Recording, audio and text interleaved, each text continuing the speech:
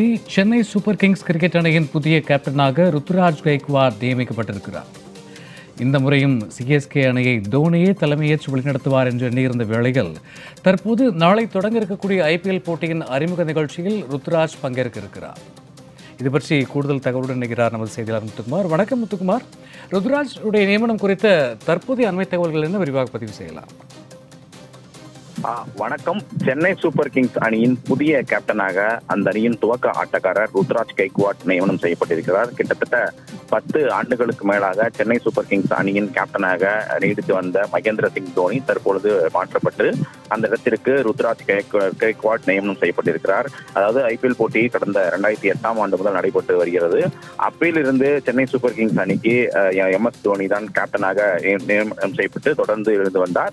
அதனைத் தொடர்ந்து கடந்த சில ஆண்டு ஆண்டுகளுக்கு முன்பாக தனது கேப்டன் பதவியிலிருந்து விலக்கி அதன் பிறகு ரவீந்திர ஜடேஜாவுக்கு அந்த கேப்டன் பதவி என்பது வழங்கப்பட்டது. இருந்தாலும் கூட ரவீந்திர ஜடேஜா கேப்டன் பொறுப்பேற்று ஒரு எட்டு போட்டிகளில் மட்டுமே கேப்டனாக இருந்தார். மீண்டும் அந்த கேப்டன் பதவி என்பது மகேந்திர சிங் தோனிக்கு மீண்டும் வழங்கப்பட்டது. அதனைத் தொடர்ந்து தொடர்ச்சியாக மகேந்திர சிங் தோனி கேப்டனாக இருந்து வந்தார். கிட்டத்தட்ட அவரது கேப்டன்ஷிப்பில் இதுவரை ஐந்து முறை சென்னை சூப்பர் கிங்ஸ் அணிக்கு கேப்டன் கோப்பையை பெற்று பெற்றிருந்திருக்கிறார். கிட்டத்தட்ட இரண்டு போட்டிகளில் அதாவது இரண்டு ஐபிஎல் தொடரில் சென்னை சூப்பர் கிங்ஸ் அணி பங்கேற்கவில்லை என்பது ஆகும். மற்ற மற்ற கிட்டத்தட்ட நடந்து முடிந்த அந்த பதினாலு ஐபிஎல் தொடர்களில் சென்னை சூப்பர் கிங்ஸ் அணிக்கு மகேந்திர சிங் கேப்டனாக இருந்து கிட்டத்தட்ட ஐந்து முறை அந்த கோப்பையையும் கைப்பற்றியிருக்கிறார் கிட்டத்தட்ட பத்து ஆண்டுகளுக்கு மேலாக இறுதி போட்டிக்கும் சென்னை சூப்பர் கிங்ஸ் அணியை அழைத்து சென்றிருக்கிறார் அந்த வகையில் தற்பொழுது தோனி என்பது மாற்றப்பட்டு அந்த அணிக்கு சென்னை சூப்பர் கிங்ஸ் அணிக்கு அந்த துவக்க ஆட்டக்காரர் ருத்ராஜ் கைக்வாட் கேப்டனாக நியமனம் செய்யப்பட்டிருக்கிறார் தோனியை பொறுத்தவரை கிட்டத்தட்ட அவருக்கு வயதும் ஆகிவிட்டது.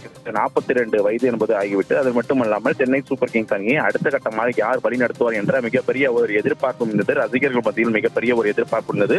அதே போல கடந்த ஆண்டே டோனி ஓய்வு பெற்று வருவார் என்ற ஒரு அறிவிப்பும் சமூக வலைதளங்களில் அதிகமாக பரவி வந்தது இருந்தாலும் கூட அதனை சென்னை ரசிகர்கள் பெறுவது பெரிதாக விரும்பவில்லை என்றாலும் கடந்த ஆண்டு டோனி ஓய்வு பெறவில்லை. இருந்தாலும் சென்னை சூப்பர் கிங்ஸ் ரசிகர்களை விருந்து படைக்கும் வகையில் கடந்த ஆண்டு கோப்பையும் கைப்பற்றியிருந்தார். இந்த முறை டோனி ஐபிஎல் அந்த பயிற்சி ஆட்டத்திற்கு முதல் முதலாக களமிறங்க வரும்போதே ஒரு ட்விட்டர் என்பதை அதாவது சமூக வலைதளங்களில் ஒரு கருத்து என்பதை பதிவிட்டார். அந்த போது இந்த முறை என்னுடைய ரோல் புதுசாக தான் இருக்கும் என சூசகமாக தெரிவித்திருந்தார். அதன் அடிப்படையில் என்ன என்று ரசிகர்கள் மத்தியிலும் சரி பல சென்னை நிர்வாகிகள் சார்பையும் சரி மிகப்பெரிய ஒரு எதிர்பார்ப்பு இருந்த நிலையில் தற்பொழுது சென்னை சூப்பர் கிங்ஸ் அணியின் கேப்டன் என்பது மாற்றப்பட்டிருக்கிறது. அவருக்கு பதிலாக ருத்ராஜ் கைக்வாட் கேப்டனாக நியமனம் செய்யப்பட்டுள்ளார். ருத்ராஜ் கைக்வாடுக்கு பொறுத்த வரைக்குமே இளம் வீரராக பார்க்கப்படுகிறார். அந்த அந்த தோனிக்கு அடுத்தபடியாக யார் கேப்டனாக நியமிக்கப்படலாம் என பல்வேறு ஒரு- எதிர்பார்ப்பு இருந்தது. அதன் அடிப்படையில் ரவீந்திர ஜடேஜாவுக்கு வழங்கலாமா? அஜின்கே ரகைனாவுக்கு வழங்கலாமா? இது போன்ற இல்ல வெளிநாட்டு வீரர்கள் யாராருக்கு வழங்கலாமா? என்ற மிகப்பெரிய ஒரு கேள்வியும் எழுந்த நிலையில் தற்பொழுது ருத்ராஜ் கைக்வாடுக்கு இந்த சென்னை சூப்பர் கிங்ஸ் அணியின் கேப்டன் பதவி என்பது வழங்கப்பட்டிருக்கிறது. தோனியை பொறுத்தவரை இதுவரை ஐந்து முறை கோப்பையை கைப்பற்றியுள்ளார். புதிய கேப்டன் என்ன செய்வார் என்பதை நாம் பொறுத்திருந்து பார்க்கும். இருந்தாலும் கூட தோனிக்கை பொறுத்த வரைக்கும் பல்வேறு அறுவை சிகிச்சை என்பாலும் செய்யப்பட்டிருக்கிறது. இருந்தாலும் அதன் காயங்கள் எல்லாம் பொறுத்துதான் கடந்த முறை கோப்பையும் கைப்பற்றியிருந்தார் இந்த முறை அணிக்கு ஒரு வீரராகவும் மற்றும் கீப்பராக விளையாடுவார் எனவும் தெரிவிக்கப்பட்டிருக்கிறது. சிஎஸ்கே கேப்டனாக ருத்ராஜ் நியமனம் குறித்த கூடுதல் விவரங்களுக்கு நன்றி முத்து.